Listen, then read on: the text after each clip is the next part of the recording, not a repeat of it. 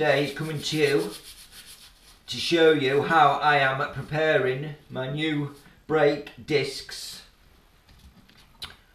for the Fazer FZ1 and the reason for the replacements is the original ones are obviously they're pitted and very well worn. Something must have got onto the pads themselves onto the face of the pads and as they've been used it's dug into the face of the disc. Now, I bought myself a full set of second-hand slash near enough brand new, not even worn in originals.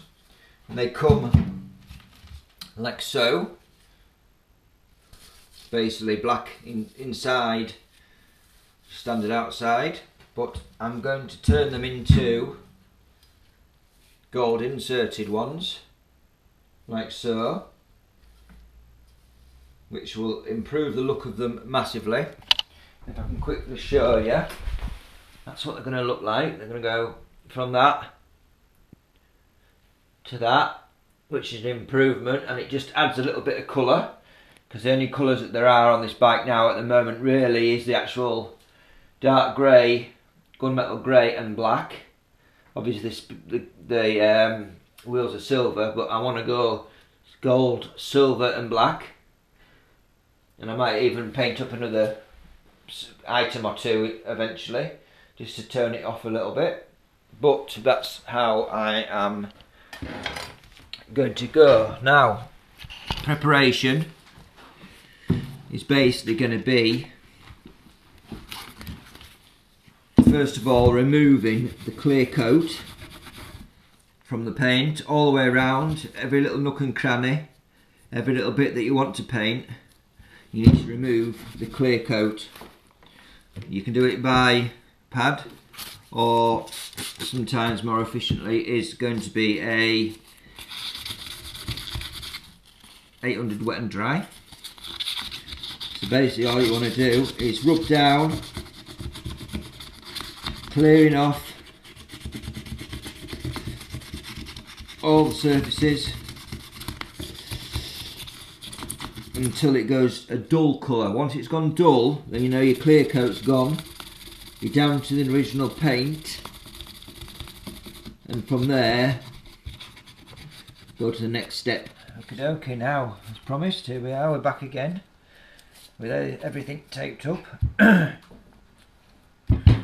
take quite as long as I thought it was going to be, maybe half an hour or so all clean ready for the first coat of paint which is going to be a primer. This in this case this is a straight grey primer. Shake the bottle up or the can up shall we say. There we go we're mixing. The second coat or the main coat Rover Cashmere Gold which after after you've seen a coat of what is clear coat turns out like that which is all I'm, all I'm after.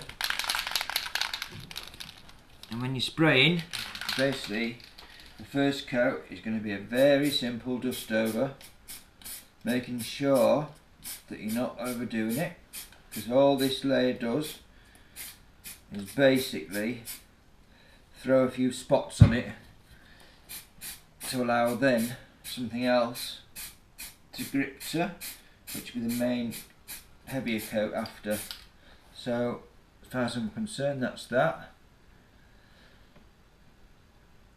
And to help it along its way I have also got what could be a hairdryer or just a heat blower, heat gun. Go over it, send it tacky, don't dry it out, send it tacky, just so it's on the verge of drying out, and then that gives it a good tacky surface for the rest of it to hold on to.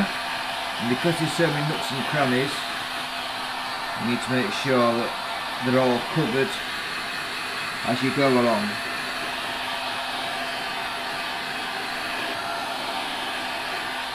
This is going to be wet coat on wet coat. There's no messing about. So now what you want to do is do exactly the same. Getting into all the nooks and crannies.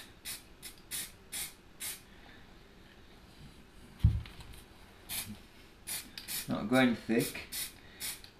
Technique is thin layer by thin layer by thin layer. That is a decent coat of primer. Now where we go with the gun.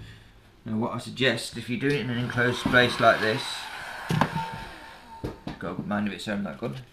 If you're doing it in an enclosed space like this, garage, door, main doors are wide open, and also avoid any overspray, for example on the bike or anything, everything else is covered up.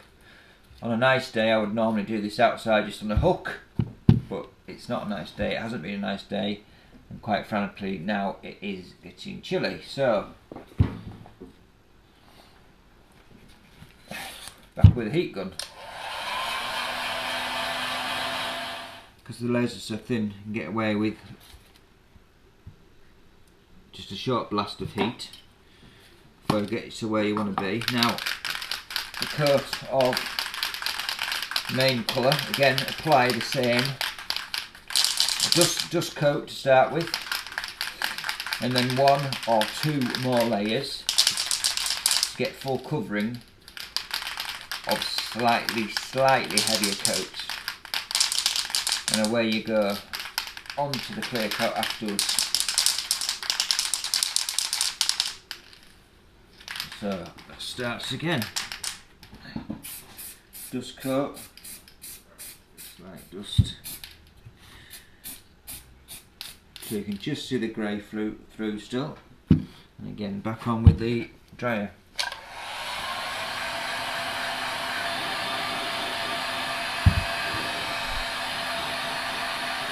There went for a bird in then, that was really interesting.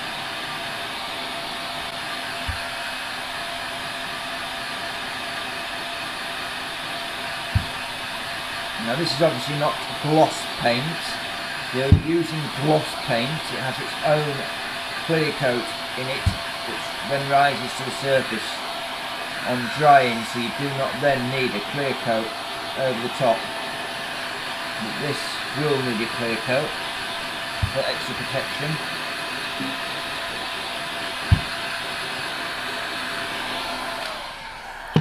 Right, where we go.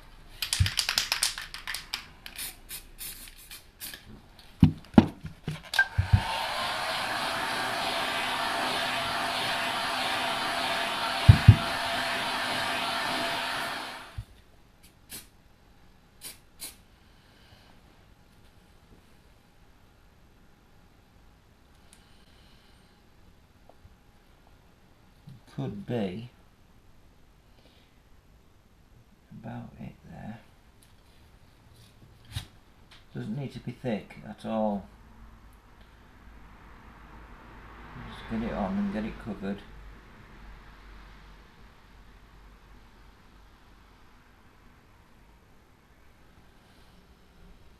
I think that's it. That will do I think. What we need to do then now is bit of the heat and then moving on to the clear coat.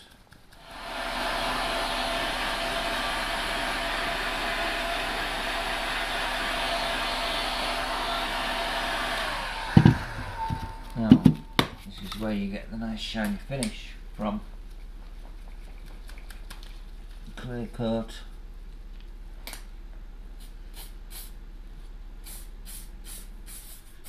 The lacquer is the most important layer because paint's only a colour. Paint on its own will not protect unless it's got a lacquer in it or a lacquer coat over the top. Once the lacquer's gone off, rock hard, that's where you get your protection.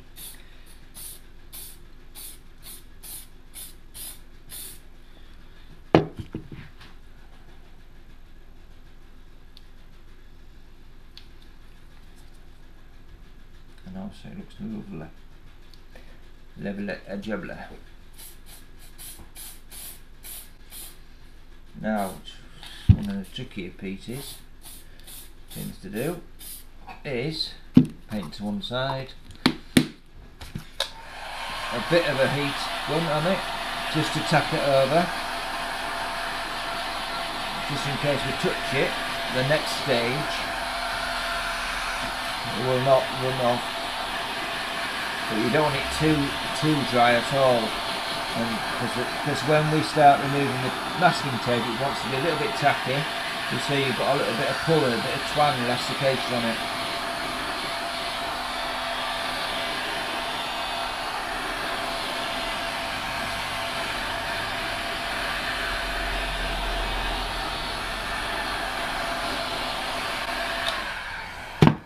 Right, find on, something that's not gonna,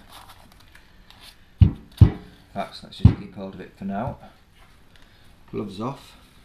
That might be a bit easier. Because what we need to do is peel.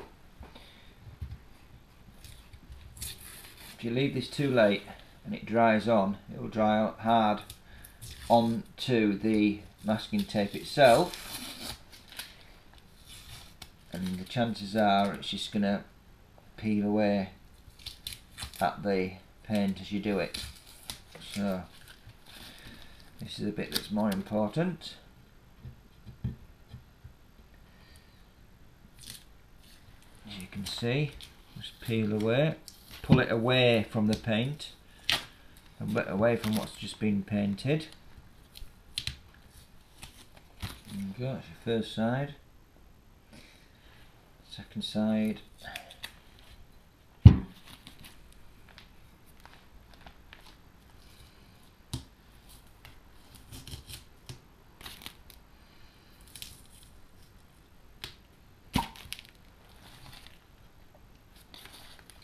it, last little piece and then we are, we're done. Bearing in mind it's still wet, that's what you end up with.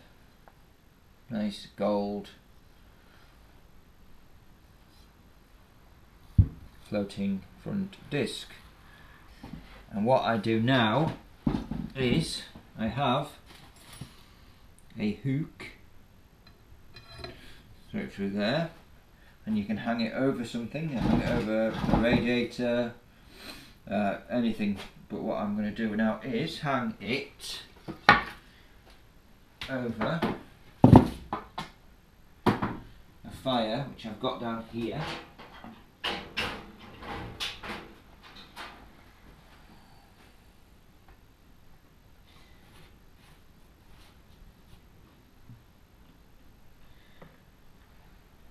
Now is just on a finish.